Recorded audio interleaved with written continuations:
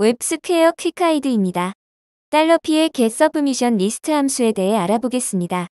이 함수를 사용하면 현재 화면과 현재 화면에 있는 W 프레임에 포함된 submission을 확인할 수 있습니다. 사용 예입니다. get submission list 함수를 사용하여 JSON 형태로 화면 전체의 submission을 반환하여 alert으로 표시하는 코드입니다. 예제를 통해 확인해 보겠습니다.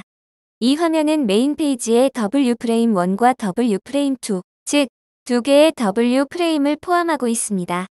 메인 화면은 submission 1과 submission 4, 두 개의 submission을 포함합니다. W 프레임 1을 확인해 보겠습니다. 소스로 소스2 XML 파일을 사용합니다. 그리고 소스2 XML 파일은 submission 2를 포함하는 것을 볼 수 있습니다. 이제 W 프레임 2를 확인해 보겠습니다. W프레임2의 소스는 소스3 XML입니다. 소스3 XML 파일을 확인해 보겠습니다. 소스3 화면은 submission 3를 포함합니다.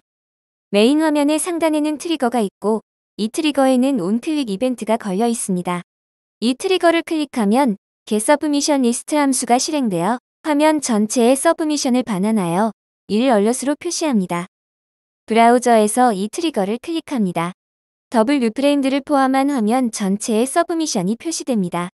W 프레임 1의 트리거도 클릭해 보겠습니다. all true 옵션을 사용하지 않기 때문에 W 프레임 1의 submission만 표시됩니다. W 프레임 2의 트리거를 클릭합니다. all true 옵션을 사용하기 때문에 화면 전체의 모든 submission이 표시됩니다. 메인 화면 트리거의 all 옵션을 변경해 보겠습니다. all 옵션 설정을 true에서 false로 변경하십시오. 저장 후 화면을 로딩합니다. 메인 화면에 트리거를 클릭합니다. all 옵션이 false이기 때문에 메인 화면에 submission들만 표시됩니다. 웹스퀘어 Quick Guide를 시청해주셔서 감사합니다.